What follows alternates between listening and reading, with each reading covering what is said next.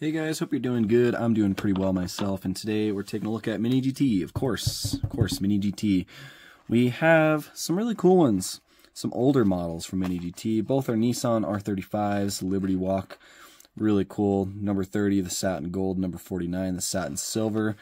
Uh, really cool models. I think there might be a uh, Toys a Japan Toys R Us exclusive of the 49, or maybe it's not the 49. Maybe it's this number 77, the other like candy red one. I can't remember, but there is a there is a more not different. It's a different car. It's uh, there's another version of this. It's number 40. It's also satin gold, but it has a carbon fiber hood. That one's really expensive. Um, very hard to find, so I do not have that one. But I do have these right here, and so that will have to be good enough for today. So let's go ahead and take a look at the number 30. Again, number 30. Really nice Liberty Walk, like uh, kind of like comic book uh, logo on the front of the box. I really miss that. I wish they still did that, but does look good. I love this box style because, and one of the things I really like about it is that you can just look at the front of the box and see the numbers. So if you have like your mini GTs all stacked up back here, you can just look and see all of them, see the number. I wish they wouldn't, like, I think they've always had the number on top, but I wish with the new style boxes, they still had the number on the front. That's just a little nitpicky, I guess, but yeah, looks pretty good. Uh, Nissan licensing right there. There's your UPC. I guess this apparently, now looking at it, this was actually a United States exclusive. So uh, I did not know that. Maybe the number 40, the one with the carbon fiber, was like a Japan exclusive or something. But anyways, we'll get this thing cracked open.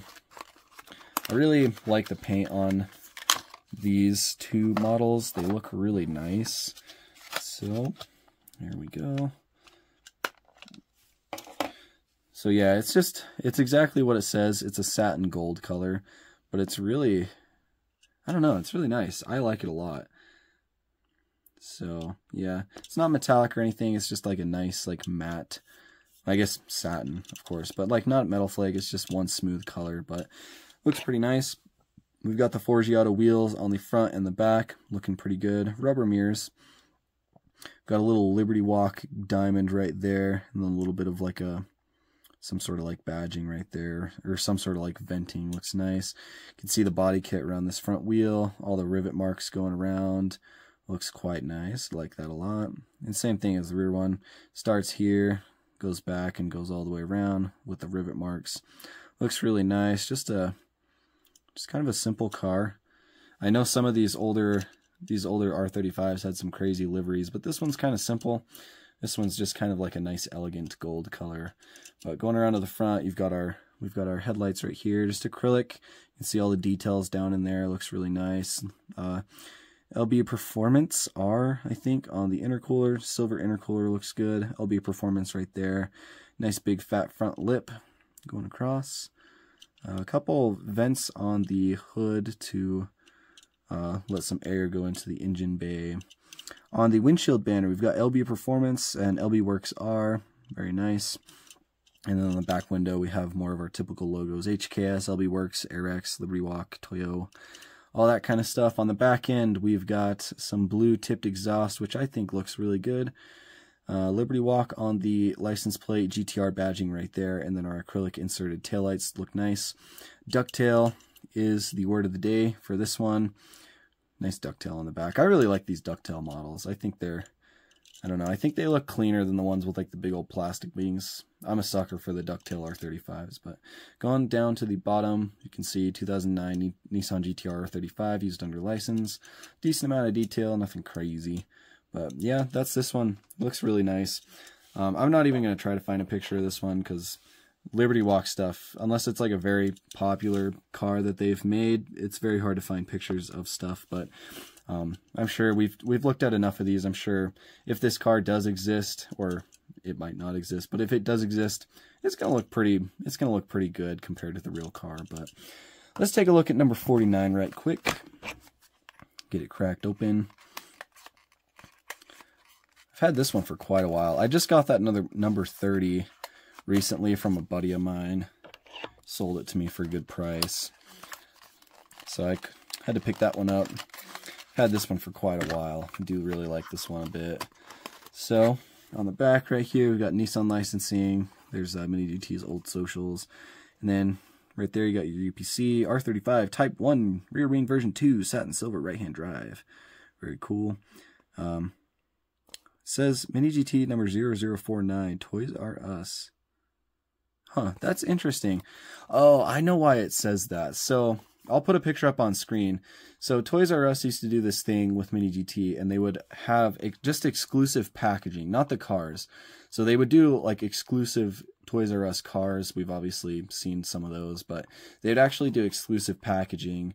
That uh, the blister pack, you know, like the the card art was the same, the car is the same, the box is the same, but like it would have a little stamp on the top of like the uh, card and the blister, and it would just say TRU exclusive. But it, the car itself isn't exclusive, so that's why it says that because this is not a Toys R Us model. This one's just a mainline release. So, anyways. Here we go, satin silver this time. So we got the gold and the silver combo. This one is, whew, this one's nice. You can see ducktail again, very nice. This one's so cool. It's got a bit more detail than the gold one, which I think is why I might like it a little bit more. But starting off with the wheels, we've got uh, we've got some nice metallic um, red Forgiatos on this one. It's kind of in like a candy apple red, but honestly, depending on the light you look at them, sometimes they almost look pink. So I love the wheels on this. Looks really good. Um, on the side, we've got the um, we've got the catchphrase right there. Imagine all the people living life in peace. And we've also got the Liberty Walk like Rising Sun logo. You can see the red rays going up the door. Looks really nice. Forgiato logo right there. Airrex. Right here, some more logos. Toyo HKS, LB Performance. Liberty Walk right here on the back. And this is the same exact body kit as that satin one back there. This one, you know, it's got the same body kit around the wheels and stuff. So same little Liberty Walk thing right there. Mirrors are going to be rubber.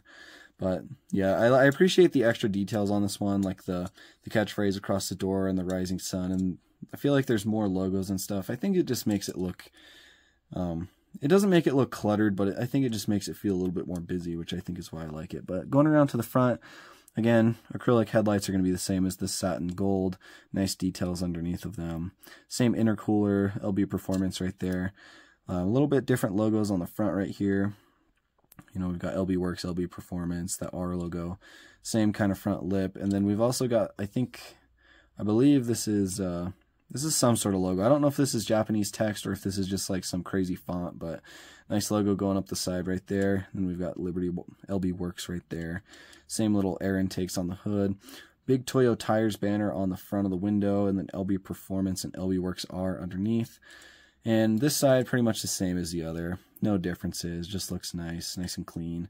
Uh, we've got our fuel filler back here. It does have the Liberty Walk flag on it. And then the rear window pretty much has the same logos as the other one did. See them all right there. Um, yeah, looks really good. On the back, Toyo tires, nice and big in the center. Got the GTR badging with our acrylic taillights. This one looks a little messed up. Looks like some of the red paint got uh, scratched off of that one, but Yep, these exhaust tips look like they're outlined in white. So that looks kind of nice. I think that's the first one I've paid attention to that I've seen that has white. But LB Performance right there with the flag. We got Liberty Walk on this side with like some Japanese text. And then a little bit of a rear diffuser down here, some nice venting. And then on the bottom, same as the other one, 2009 R35 with the same base plate. So Yep, looks pretty good. I don't know if I'll be able to find a picture of this one either, but I don't know. Maybe I'll get lucky and I'll throw one up. But anyways, thank you guys for watching. That's These are the cars for today. Some nice satin gold and satin silver. I think it's a nice combo. But anyways, hope you enjoyed. Drop a like if you did. Subscribe if you're new to the channel. Help us hit a thousand. We crawl and inch ourselves closer every day. And overall, that's the big goal. But anyways, thank you guys for watching. We'll see you guys in the next one.